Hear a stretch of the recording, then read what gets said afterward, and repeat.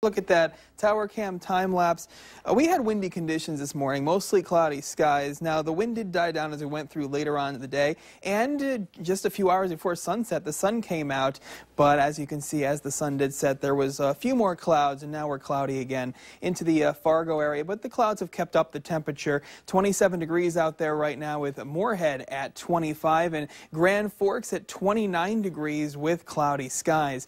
Now, the uh, current temperature is out to the west even warmer. Valley City at 32, 31 at Jamestown. A little cooler down south into the east. Fergus Falls at 19 and Wahpeton holding at 18. And taking a look at the wind speeds, the winds are uh, actually not that bad into the Fargo area, points south and east. They're near 10 miles per hour, but between 15 and 20 miles per hour, Jamestown, Devils Lake, and Grand Forks. And you can see those areas have more of a northerly wind, and the Fargo area has a southerly wind. So you can see where the cold front is. The cold front will come through tonight, keep us a little cooler tomorrow compared to the day today. There's your clear skies just a few hours before sunset. More clouds off to the west we're going to see overnight and a few snow showers up uh, just to uh, the uh, south of Hallock uh, for the day today. That's basically it for uh, any precipitation for us. The big deal is that system off the east coast. The good news is the last few bands of snow are exiting. They should be out of here by the overnight period. And we're still in that blizzard warning from Washington, D.C. all the way way up through Philadelphia and New York City itself with winter storm warnings approaching just south of Boston. Now, the uh, travel advisories for them will, uh, will stop at 6 a.m. Now, taking a look a little closer to us, off to our west, we have mainly cloudy skies out there, a few snow showers, and that will be our future. So let's uh, track it hour by hour. Cloudy skies for tonight. Everybody gets in on that northerly wind.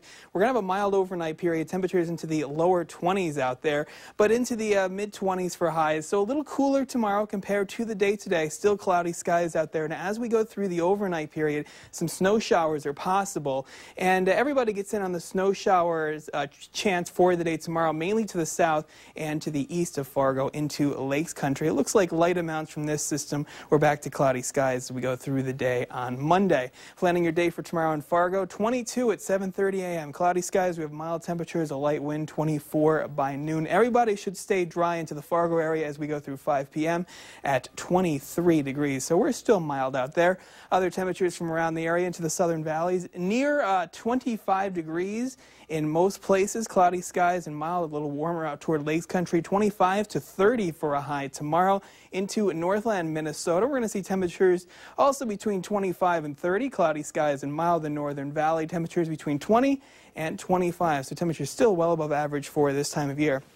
Now, extending the forecast for the day on Monday, we have that system coming through that will give some snow showers, especially south and to the uh, east of Fargo. High of 23 degrees. We're going to stay in the 20s most of next week. 22 on Tuesday, mostly cloudy skies with another chance of some snow showers on Wednesday.